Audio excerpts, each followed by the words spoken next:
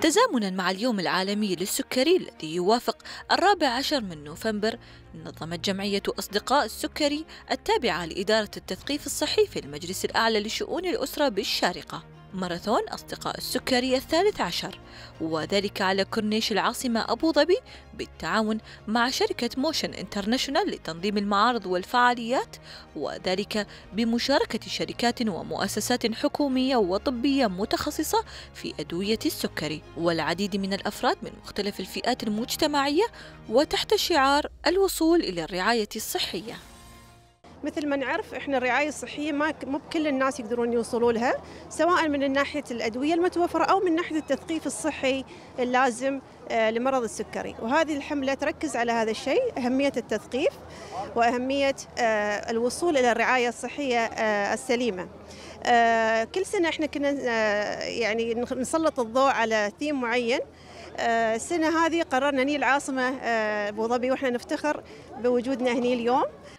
يأتي الماراثون الرياضي استمرارا لنهج الجمعية الرامي إلى تعزيز الوعي المجتمعي بأهمية رياضة الجري وممارسة النشاط البدني وجعله أسلوب حياة وجزء لا يتجزأ من الثقافة الاجتماعية إلى جانب لفت أنظار المجتمع لفئة مرضى السكري ودعمهم معنوياً. استخدموا أسلوب حياة صحي في حياتكم وهذا يتضمن إن تخلون الرياضة جزء من جدول حياتكم وأيضا اهتموا بالأكل الصحي مارسوا رياضة المشي وأيضا رياضة الركض. جينا نشارك بمسابقه رياضية بكيلوين نبرز فيها دعمنا للصحة واللياقة البدنية. يعد مرض السكري من الأمراض المزمنة التي تحتاج للتوعية وتغيير الكثير من العادات الحياتية والمتابعة المستمرة وإجراء التعديلات حيث أثبتت الدراسات أن اختيار نمط الحياة الصحي بما يتضمنه من الغذاء الصحي وممارسة النشاط البدني يساعد في منع حدوث 50 إلى 70% من حالات السكري النوع الثاني. ومن المتوقع أن يصل العدد إلى 600 مليون في عام 2030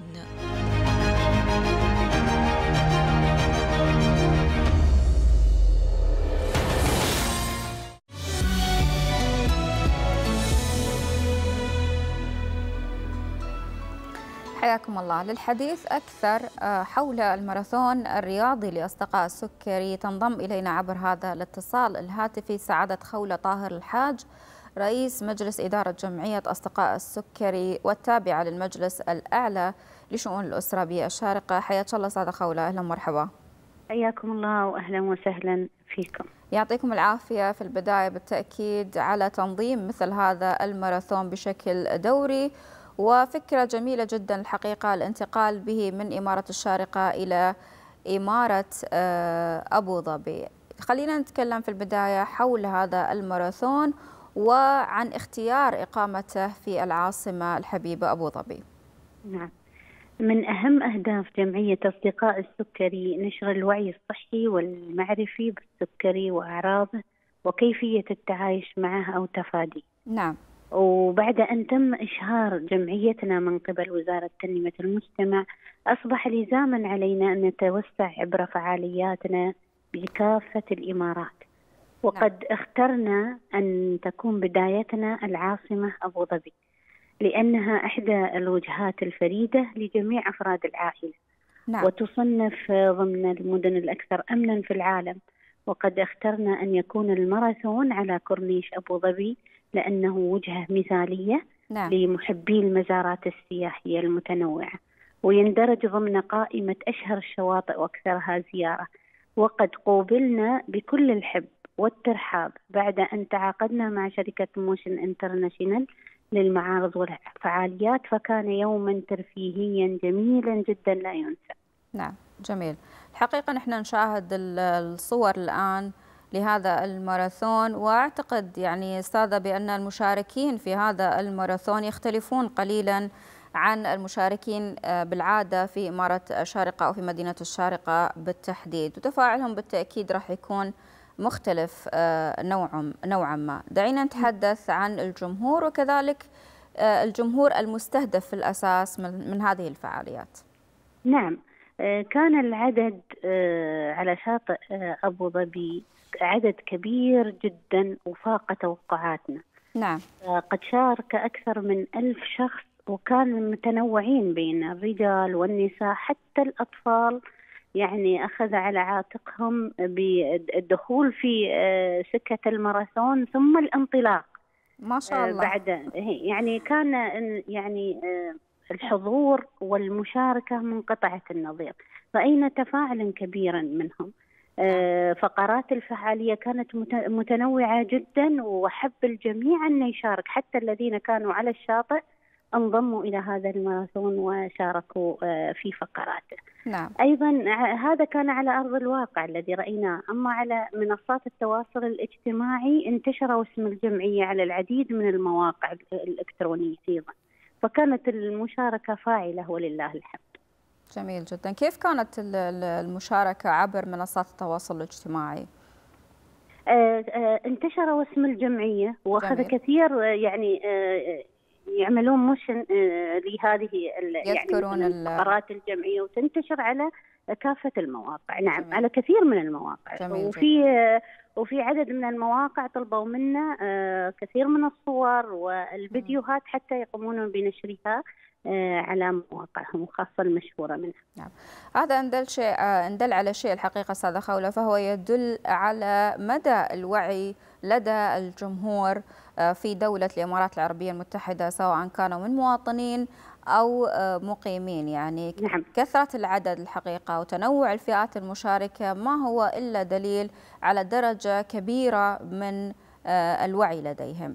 نعم. دعينا نتحدث الحقيقة حول الشركاء والرعاة لهذا الماراثون. نعم.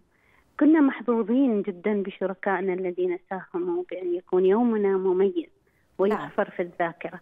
أود أن أشكرهم جميعا. بدءا بشركة Motion International للمعارض والفعاليات ثم نعم. شرطة أبو ظبي.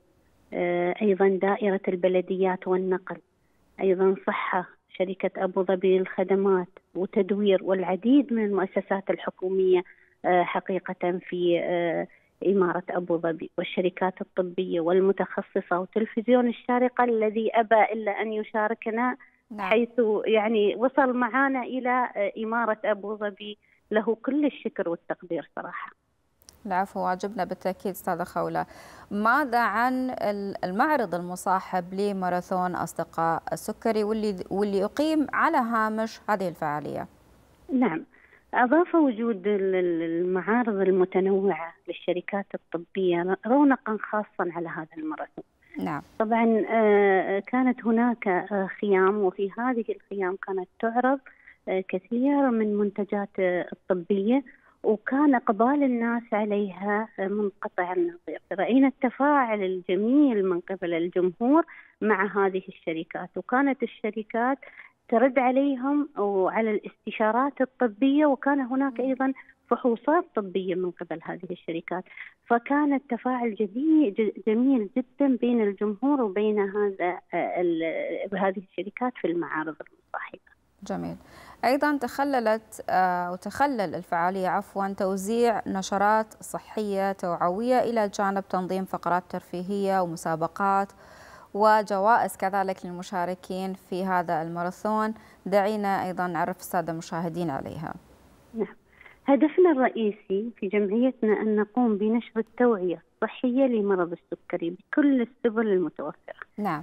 فحرصنا على توفير كتيبات ونشرات صحية تثقيفية شاملة لكل ما يحتاج المرء إلى معرفته عن السكر وأسبابه وأنواعه وطرق الوقاية منه. نعم. وقد تم تقديم فحوصات سكرية مجانية للحضور كانت للفعالية فقرات منوعة مليئة بالترفيه والمسابقات والجوائز للكبار والصغار حيث تم تخصيص ركن ركن خاص بالأطفال خاصة مرضى السكري تم من خلاله توفير ألعاب وجوائز وهدايا متنوعة نعم. بهدف التثقيف بطرق منهجية تتناسب مع أعمار هؤلاء الأطفال نعم. كل الشكر والتقدير لكم آه، سعادة خولة طاهر الحاج رئيس مجلس إدارة جمعية أصدقاء السكري بالمجلس الأعلى لشؤون الأسرة بالشارقة. شكرا لك. حياكم الله. شكرا جزيلا. الله يحييك. الله يحييك. شكرا.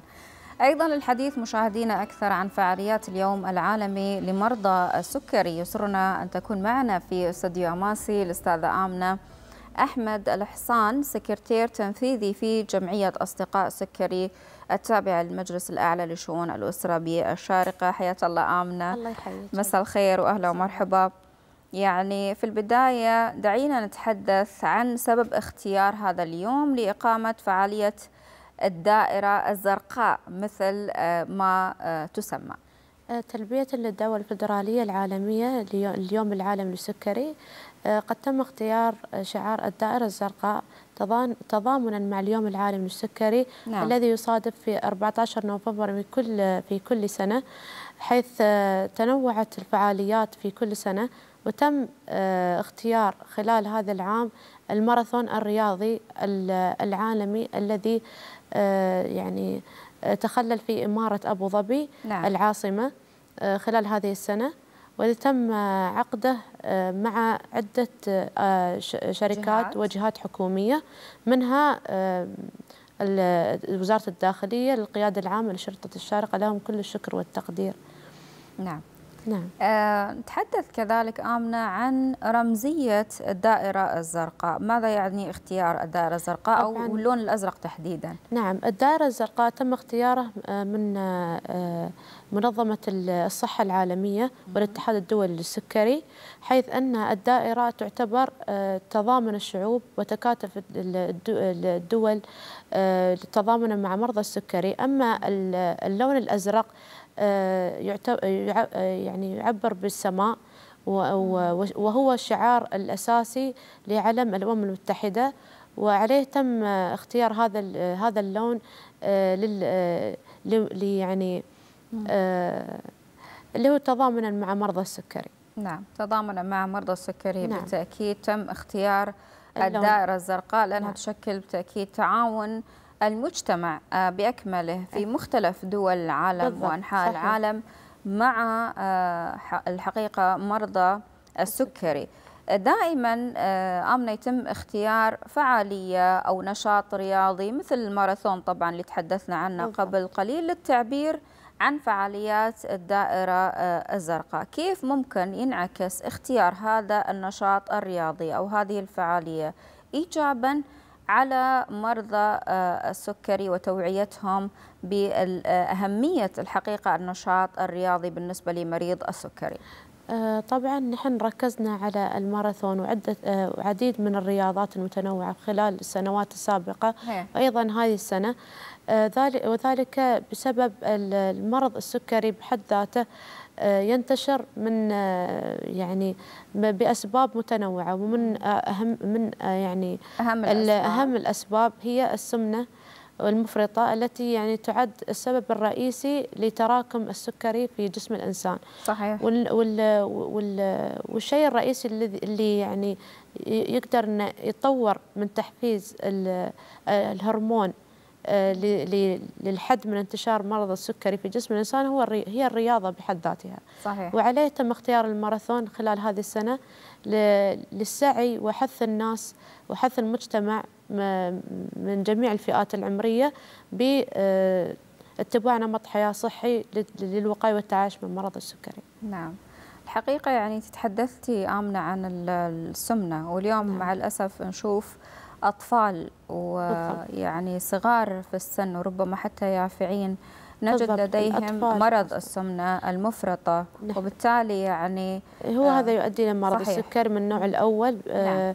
آه حيث آه نحن في يعني الربع الأخير من السنة سنقوم أيضا بتنظيم آه، حملة البطل الخارق في المدارس. وهذه تعتبر بحد ذاتها استقطاب أطفال أو طلاب المدارس لتوعيتهم تجنب مرض السكري أو التعايش معه في حال كان المرض يعني منتشر في في هذه المدارس نعم. آه والسبب الرئيسي لاختيار الحملة في هذه المدارس لحفظ حقوق الطالب المصاب بالسكري نعم. لممارسة حياته الطبيعية كباقي أقران الطلاب الغير مصابين صحيح. بالسكري نعم وحتى توعية كذلك الطلاب الآخرين بكيفية بالضبط. التعامل مع الطالب ربما المصاب بمرض آه السكري. بالضبط. الحقيقة يعني البعض قد يتساءل كذلك أخت آمنة هل ممكن أن آه، أتجنب الإصابة بهذا المرض مرض السكري باتباع نمط حياة صحي؟ ولذلك دائما ينادى وتنادي الجمعية بنمط الحياة الصحي حتى وإن كان لديه آه، عوامل مساعدة أو مثل ما تلفظ أو يقال عنها باللغة الإنجليزية factors موجودة لديه آه بالضبط. نحن طبعا دائما من أساسيات الجمعية وتوجهاتها آه بأن يتم الحث على نمط الحياة الصحية فيتم من خلال الورش التثقيفية نعم. والفعاليات والفعاليات الصحية المتنوعة الأسبوعية التي تقدمها الجمعية سواء على في جهات الدوائر الحكومية أو الشركات الخاصة أو أيضا حتى استقطاب فئات المجتمع بحد ذاتها في استقطاب الجمهور حتى على منصات التواصل منصات التواصل الاجتماعي, الاجتماعي بعمل وبتنسيق ورش عمل افتراضية. وذلك ل آه، يعني لتوجيه هذه الرسالة لاتباع التغذية السليمة الصحية لدى آه، أفراد المجتمع. نعم. للحد من انتشار مرض السكري أو بتوعيتهم لكيفية إن أنه آه، كيفية تضامن جمعية مع مرضى السكري. نعم. نعم. الآن نتابع طبعا لقطات من هذا الماراثون الذي قامت الجمعية الحقيقة في آه، العاصمة الحبيبة أبو ظبي وكذلك بالتحديد على كورنيش. أبو ظبي وأعود بالحديث لهذا الماراثون الماراثون تواجد فيه عدد كبير آه، أخت آمنة من بالفعل. الأطباء وكذلك صحيح. الطواقم الطبية بالفعل, بالفعل ما هي الغاية من وجودهم في هذا الماراثون آه، آه. بمشاركة الجمهور بشكل عام مصابين أو غير مصابين نحن يعني توجهنا بعمل بتنظيم أكبر معرض صحي نعم. توفر فيه كادر طبي وكادر تمريضي وأخصائيين تغذويين وكان الهدف من من تواجدهم خلال المعرض الصحي في الماراثون بتوعية أفراد المجتمع في إمارة أبو ظبي العاصمة نعم. واستقطاب أكبر عدد ممكن من الجماهير المتنوعة وال في في في كورنيش آه، أبو ظبي نعم. لتوعيتهم باتباع أنماط حياتية صحية خالية من الأمراض و آه، كيفية الوقاية والتعايش آه، مع مرض السكري. نعم. وعمل الفحوصات العشوائية واستقطاب الحالات التي تستدعى للعلاج وأيضا آه، معرفة النسبة المتفاوتة للأفراد المتواجدين من نسبة الهبوط في سكر الدم أو ارتفاع سكر الدم أو النسبة النسب الطبيعية نعم. حيث أننا أننا سنقوم بعمل إحصائية من بعد إن شاء الله الماراثون من بعد انتهائنا للماراثون بالتعاون مع دارة الإحصاء. نعم. الحقيقة يعني جميل جدا انتشار ثقافة عامة بين أفراد آه، المجتمع ومختلف فئات آه، المجتمع حول آه، مرض ما أو معضلة ما هي في الأساس منتشرة الحقيقة منتشرة. صحيح. في مجتمع دولة الإمارات فحتى يمكن اللي غير مصاب أو ليس لديه أحد من أفراد أسرته مصاب جميل جدا أنه يعني يكتسب هذه الثقافة وهذه المعرفة حول آه، مرض آه، السكري آه، اختامنا يعني يمكن في كل عام والحقيقة في العام هناك أكثر من فعالية تقام من قبل الجمعية. بالضبط. ما هي مخرجات ربما هذه الفعاليات هذه الأنشطة على مدى السنوات السابقة؟ آه نعم تم التعدد في آه فعاليات وبرامج الجمعية خلال آه أجندة هذه السنة. كانت سنة حافلة بالإنجازات نعم. ولله الحمد آه ومن خلالها أيضا استقطبنا عدد كبير من يعني الجهات أو الداعمة نعم. التي يعني آه تمكنا من من المساندة معهم باستقطاب أكبر عدد ممكن من كافة أفراد المجتمع للتحدث عن مرض السكري ونشر يعني الوعي. نشر الوعي الصحي لدى أفراد المجتمع نعم شكرا لك آمنة الحقيقة على وجودك ويانا اليوم آه كل الشكر لك آمنة أحمد الحصان سكرتير تنفيذي في جمعية أصدقاء السكري بالمجلس الأعلى لشؤون الأسرة بالشارقة وليس مستغربا بالتأكيد على الجمعية أو كافة الحقيقة الإدارات التابعة للمجلس الأعلى لشؤون الأسرة. آه هذه الفعاليات النوعية اللي دائما تكون مختارة بعناية فائقة بحيث تقدم للجمهور ويكون لها الأثر الكبير جدا عليهم. شكرا آمنة. عفوا. يعطيكم العافية.